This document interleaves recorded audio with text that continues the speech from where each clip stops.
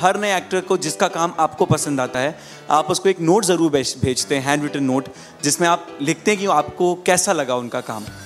सो so, पिछले कुछ दिनों में ऐसे कौन से एक्टर्स हैं तीन ऐसे एक्टर्स जिनका काम आपको बहुत अच्छा लगा और जिनके लिए आपने हैंड रिटन नोट लिखा आलिया है रणबीर हैं और राजकुमार राव है और विकी कौशल हैं। सब है सर अभी इसका प्रचार मत कीजिएगा जिनका हमने भेजा, उनका नाम नहीं लिया हाँ पर तो मारेंगे हमको। लेकिन उनको मैं भेज देता हूँ, क्योंकि सर जेनुअनली मुझे अच्छा लगता है और उनका काम और इस पीढ़ी के साथ, उनके साथ बैठ करके, उनके विचारधारा सुन करके और उनके साथ काम करके बहुत अच्छा बहुत ही आनंद आता है। अगर आपको हमारा ये वीडियो पसंद आया है तो like share and subscribe our channel Patrika entertainment